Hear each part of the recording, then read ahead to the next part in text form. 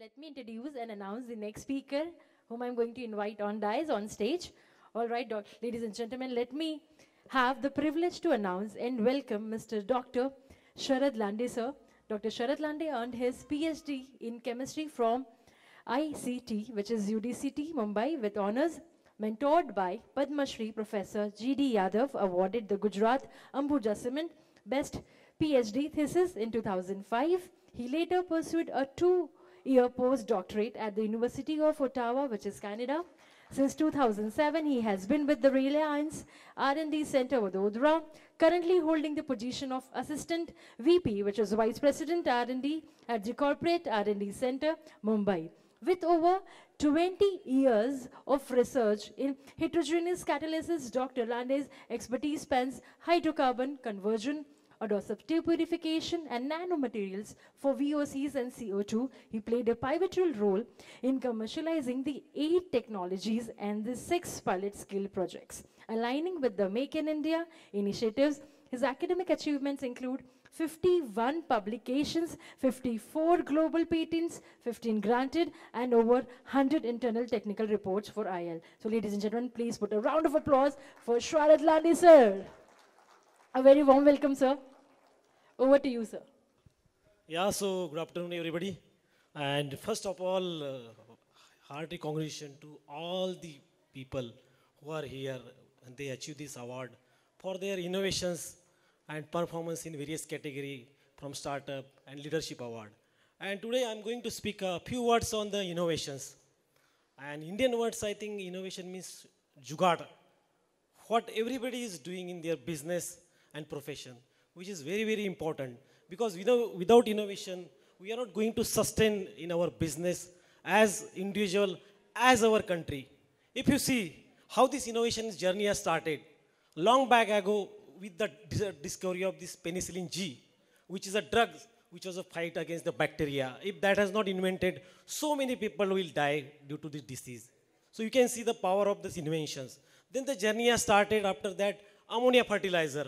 When the British who has discovered this ammonia, today we are seeing a lot of growth in the production of crop, which is the invention of ammonia. Again, if you see next invention is the polyethylene. We may say now plastic we have to recycle, but if you can sing a thing, sing a single minute or day without plastic, it is very important, very difficult to survive. Because for packaging material, polyethylene is very important material, and that has been discovered in 1898. After that, discovery has started in these LCD LED mobiles. So that invention also has make an impact on that. And finally, major invention has happened during the COVID. That is COVID vaccine, which has survived many people. So you can see the power of this innovation and invention. After that, there are several innovation has happened, which is making the impact on our society. So the innovation basically is a not a property of any education. It is not required in education. Whatever I am PhD, my profession is scientist. I'm working in Reliance Industries, who is doing a lot of innovation. But as I said that innovation can do anybody. Why it is important for our country?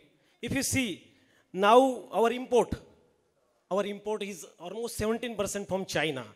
And in terms of energy, like we are importing 87% of crude oil. So we are dependent on the outsider because our energy demand is going very fast towards the years. And in next 50 years, we can say it is a triple, four times due to our population. So what we can sustain under such an atmosphere to develop our own technology, our own innovations. And that definitely we are doing a well in terms of the innovations. Because if you see, in 2015, our innovation index, global innovation index by WIPO, it was 80 out of 130 countries. And today, in 2022, we have come to 40. Can see the delta which we are achieving. So there are various factors because it's involved in these innovations. And most important part is the culture and the government support. So government also is doing a lot of initiatives in terms of the science and technology promotions to various industries also. If you see in uh, during COVID in 2022, they have started one initiative PLI, production incentive uh, linkage for the, all the industries, small scale industries, because what they want, they want to reduce this import. Once we reduce this import, we will be sustained ourselves in long term. So that is one goal. Second goal is basically how you can make a culture of innovation. That is very important, our mindset. So everybody should think, I should do new thing in my business, uh, as a profession, as a leadership. So that will helpful to sustain in my business. So as an individual, if you see how we can sustain this thing, so there are various factors basically. I am, uh, I know that it is not easy to do the innovation, but as a team is very important because in any professions, as you are here today to achieve so many excellence in your profession, due to your leadership, that makes an impact on your profession. So what I will say that I will not take much time because there are so many people here who are here to receive the awards. And I will say only one thing, always follow three P in your life if you want to achieve something. So first is passion for your work. Always passion for your work to do something. Then persistence. Don't lose your hope if you want to achieve some things. And performance. If you follow the three P's, it definitely will lead to success in your life. So for all of you, just I want to give one message. This is just beginning for you. So dil mange more for you. So let us continue this spirit of innovations and do well in your business and profession. Wish you all the best to all of you. Thank you so much.